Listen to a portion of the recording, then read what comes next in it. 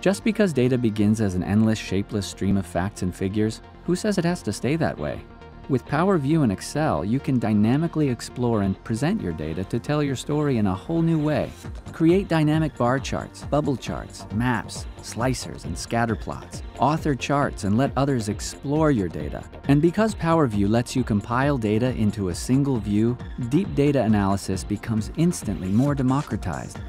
In other words, everybody can spend less time formatting data and more time gaining visual insights and finding answers to business questions. Additionally, PowerView leverages the Power Pivot data model, allowing you to update and cross-filter visuals with just a click. But PowerView is just the beginning. With Power Map, the stunning 3D tool for Excel, you can further immerse yourself in your data and navigate the insights hiding within. Compared to the 2D tables and charts, it is quite literally a new dimension in data visualization.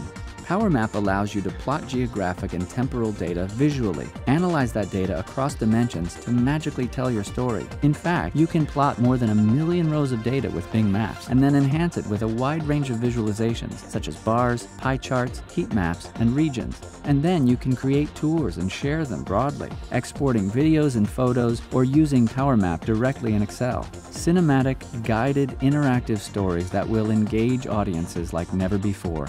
Because in the end, data is only as useful as how well you're able to bring it to life.